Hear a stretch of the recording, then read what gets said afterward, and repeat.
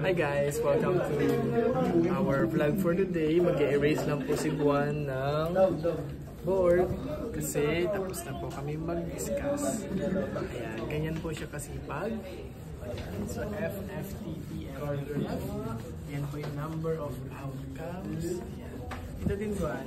Erase mo na to. So this is the binomial distribution. This is the binomial to possible outcomes. Now we have X is for the number of success, P is the probability of success, N is the probability of number of trial, tapos ito na po siya.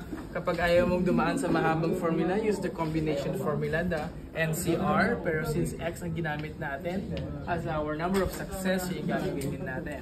So in your calculator, press nyo lang NC2. So times P here is the probability of success raised to X times Q is the probability of failure raised to N minus X.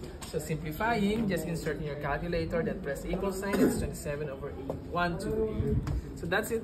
Bye-bye. Pag wala kayo naintindihan, ako din, wala naintindihan.